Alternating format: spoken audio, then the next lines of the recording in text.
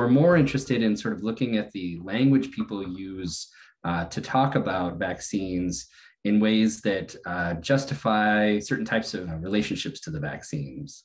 Uh, so, like if they are uh, explicitly anti-vax, like they don't want to take the vaccine, um, how do they talk about that? Uh, and then, or if they're they're sort of they have questions, um, like how do they frame those questions? And th- because those questions come from a particular sort of social location, uh, cultural uh, viewpoints.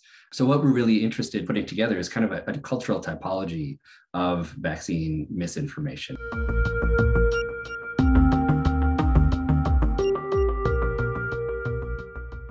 I think this is not necessarily just a story about social media. Like it's uh, social media may have made uh, the social underlying social dynamics more transparent. But I mean, I, I think I, I, was I often go back to a recent story um, that was uh, in the New York Times. There was reports of people in Missouri who were going to their doctor to ask to get vaccinated, but asking their doctor not to tell anybody.